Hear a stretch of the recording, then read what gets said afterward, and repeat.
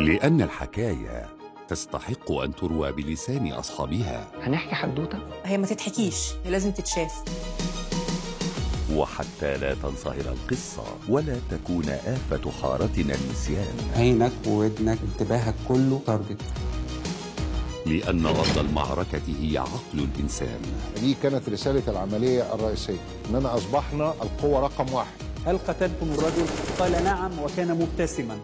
لأن للحرب على الإرهاب والتطرف وجوها كثيرة. يجعل فكره هو معيارا للهدى معيارا للدين. هو يعرف كيف ينفذ إليك. متى يضرب؟ من؟ حتى لا تشوه الحقائق. المعلومة أمامهم لكن لا يرونها. ولا تحرف الوقائع. ليه ندي الإخوان 48 ساعة؟ إحنا يجب أن نزيح الإخوان الآن. ولا يزور التاريخ.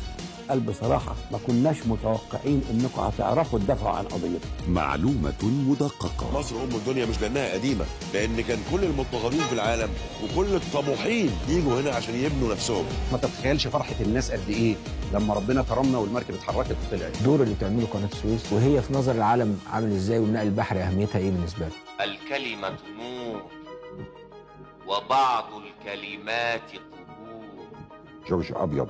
وحمدي غيث وعبد الله غيث وأمينة رزق وسامح أيوب وسناء جميل. تفاصيل جديدة. ممكن يبان عادي بس هو مش عادي. وهكذا هي مصر. وهكذا هم مبدعوها الوثائقية. القصة كاملة. قريبا.